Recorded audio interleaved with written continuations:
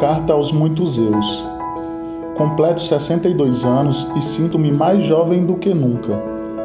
Meus cabelos grisalhos brotam de uma mente inovadora, curiosa na pesquisa, para seguir avançando nas novas soluções de saúde para a sociedade.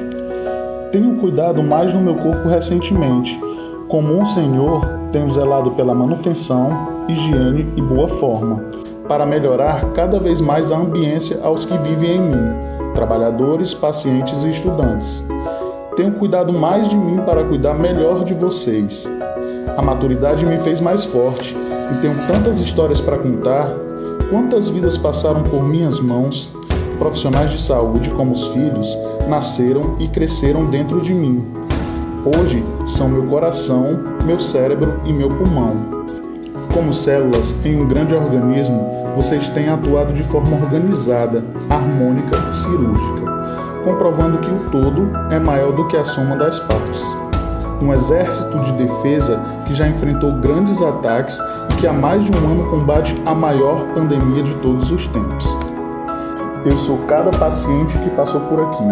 Eu sou cada familiar ansioso por levar o seu amor de volta para casa. Eu sou cada pai orgulhoso com a formatura do filho, cada professor que vê o seu discípulo seguir em frente. Eu sou cada um de vocês. Sou o Hospital Universitário Walter Cantídio.